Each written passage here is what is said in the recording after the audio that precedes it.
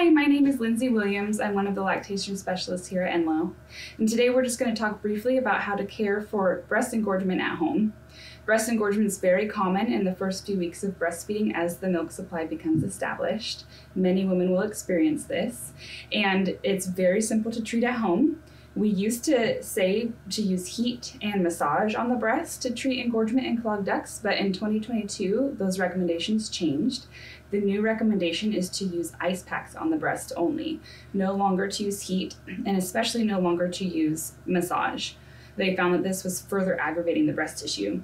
So, all you need to do is continue to feed your baby on demand whenever baby acts hungry and ice the breast. And you can ice often. Put ice packs on the breast as often as every hour if needed for about 15 to 20 minutes at a time.